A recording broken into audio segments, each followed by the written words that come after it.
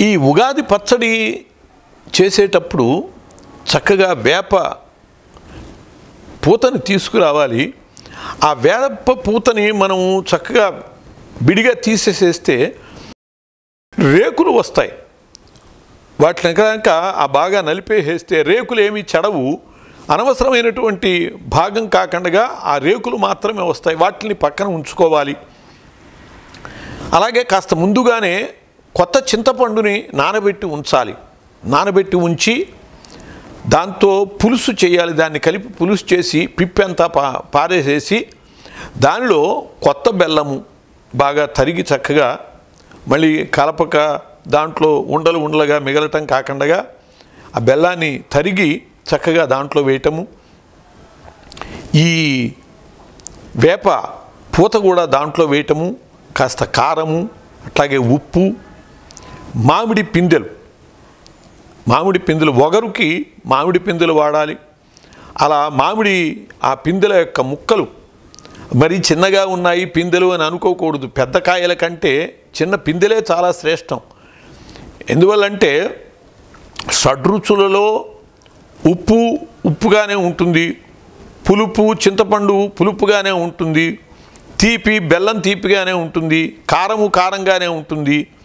వేపపూత చేదుగానే ఉంటుంది వగరుగా ఉండాలి. ఆ వగరు అనేటటువంటిది మామిడి పిందెల నుంచి రావాలి కాబట్టి అలా వాటిని కలిపి చక్కగా మొత్తం ఏకం చేసి వాటిని చక్కగా నివేదన చేయాలి. భగవంతునికి ప్రాణాయ స్వహ అపానాయ స్వహ వ్యానాయ స్వహ ఉదానాయ స్వహ సమానాయ స్వహ అని చెప్పి పంచ ప్రాణ ఆహూతులు వేసి తర్వాత దాన్ని మనం ప్రసాదంగా తీసుకోవాలి.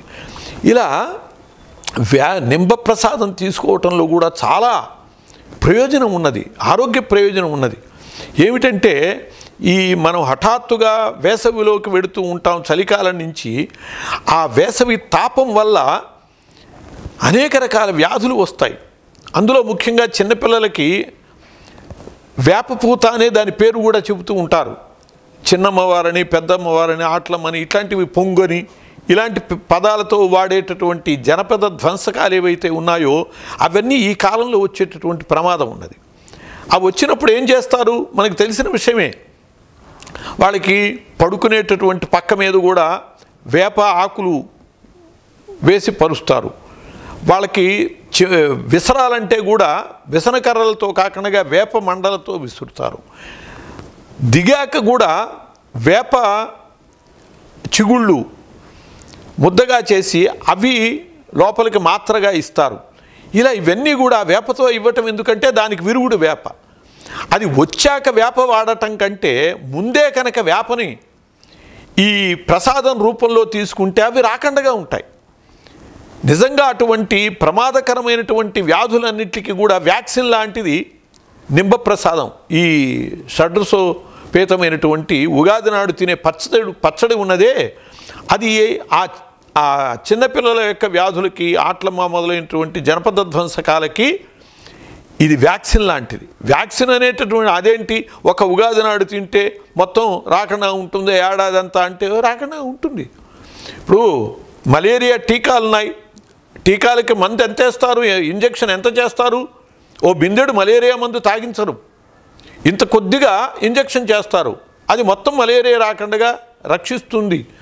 అలాగే ప్రతి ఉగాది నాడు కనుక మనం ఇట్లా వ్యాక్సిన్ లాంటి ఇది తీసుకుంటే వ్యాక్సిన్ తీసుకోవటానికి పిల్లలు భయపడతారు. అది గుచ్చుకుంటుందని ఇంజక్షన్ అని అది ఇది. కానీ వ్యాప్రసాదం అంటే వాళ్ళు ఆనందంగా స్వీకరిస్తారు. అలా మనకున్నటువంటి విధానాలన్నీ కూడా ఎంత ఆనందకరమైనటువంటివి రోగానికి ఇచ్చేటటువంటి మందు ఆనందంగా స్వీకరించేటటువంటి పరిస్థితి పిల్లల్లో ఉంటుంది అంటే మన యొక్క సంస్కృతి విశిష్టత అది మన పర్వదినముల యొక్క విశిష్టత అది.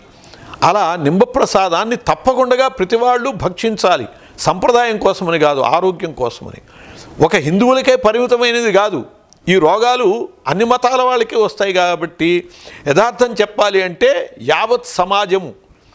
కుల మత విచక్షణ లేకుండా ఉగాది నాటి నియమాలు పాటించటం అనేటటువంటిది యావత్ సమాజానికి హితకరమైనటువంటిది. అవి తప్పకుండా పాటించాలి.